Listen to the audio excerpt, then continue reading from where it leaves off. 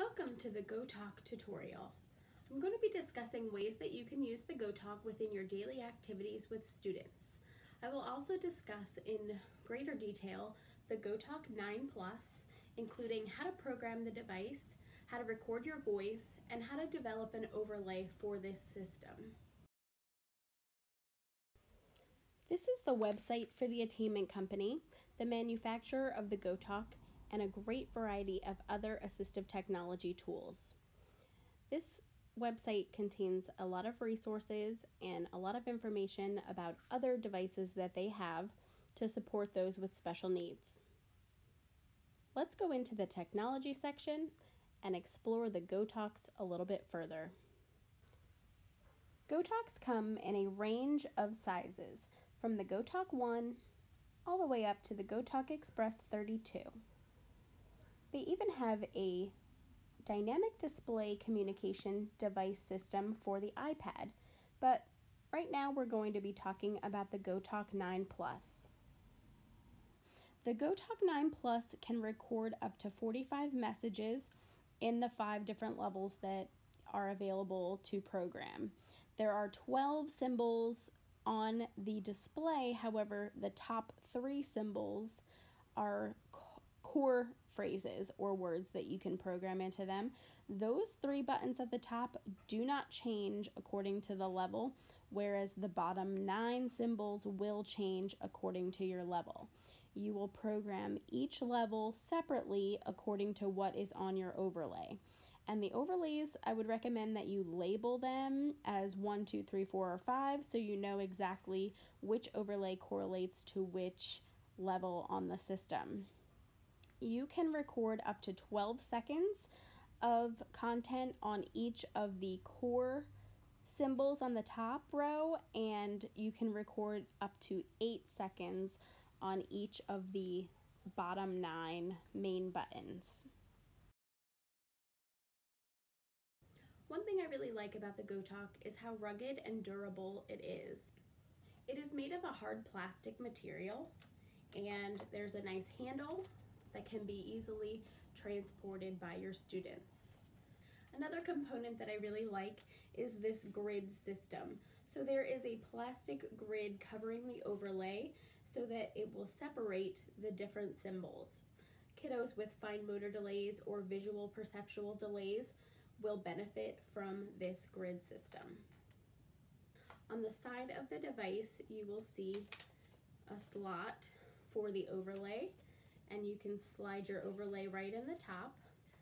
And right behind the overlay slot is another slot. And this is where you can store your extra overlays for the other levels. This is very convenient, so it will reduce the likelihood that you will lose the other overlays. One other thing that I like about this device is that it comes with a sleeve that you can place your overlays inside. So there's no need to laminate you can laminate the boards if you would like to, however, you don't really need to because you have this nice sleeve that it can go inside.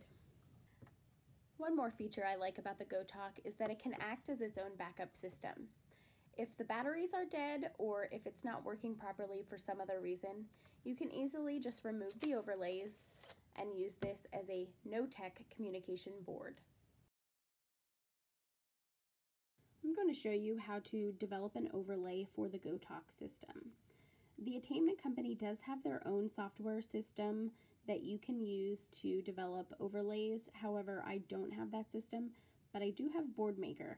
So there are lots of different templates available on the BoardMaker software that you can use for a variety of communication devices, the GoTalk being one of them. So when you open BoardMaker, you can just push open a template and then communication devices will come up in one of the selections. So click on communication devices and open, and then we'll scroll until we find the GoTalk systems available. I found the 9 Plus, click open for that, and you'll see your template is right here on the screen.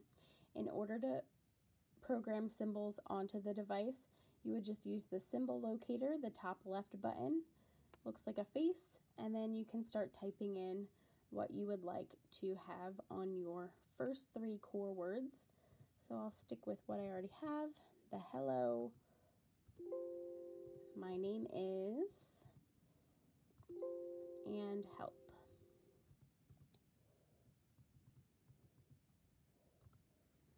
And then you can decide what you want to program on the bottom nine main buttons for that level. So you can make that according to a lesson or according to part of the routine, however you want to develop the vocabulary for that level. And then I'm going to show you how to customize the symbols so that you can use different colors in the backgrounds.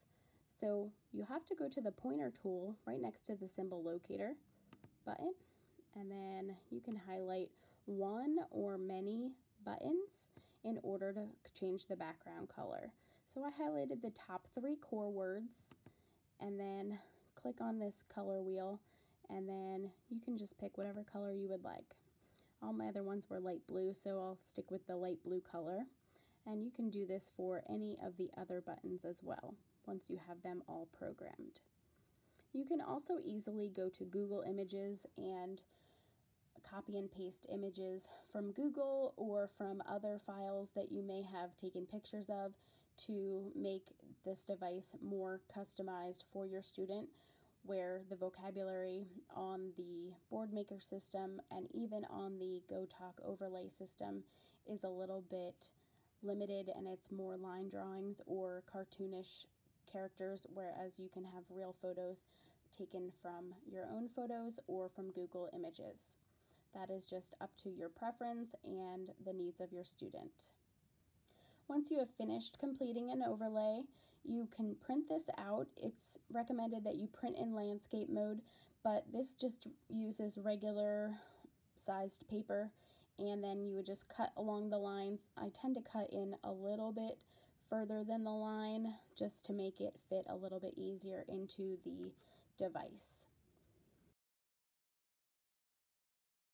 The voice quality on the GoTalk is pretty good and it is using your actual recorded voice when you are programming the device. So you'll want to make sure that you are in an environment with very limited background noise and you want to speak directly into the recorder as you are recording the device to get the clearest quality you can. Let's talk about how to record on the GoTalk. On the back of your GoTalk are instructions you can follow these instructions, but I'm just going to demonstrate how to record um, right here on this video. There is a record button on the back of your GoTalk, so just push that record button one time. When you push that record button, the light is red on the very top of your device, and my level one is indicated in green. If you are recording a different level, you just push the circle button to go to the level in which you are recording. I'm going to stick with level one right now because that's the board that I am going to be recording and demonstrating for you. When you are ready to record, push the symbol in which you want to record. So I'm going to start with the first one. And as you'll see, once you hit the button, this red light will start flashing. That means you are recording hello. So I say what I need to say in the recording and I push the button again. Once I push the button again, the red light will stop flashing. That means my recording has been saved. So you can do this for the whole entire level while this red light is on.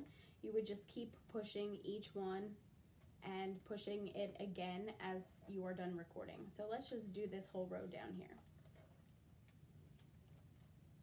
I want cookies, a banana. So I recorded that entire row on the left here. And when I'm done recording, you just push the record button on the back one more time. And when I do that, the recording light, the red light goes away and we can listen to what we just recorded. Hello.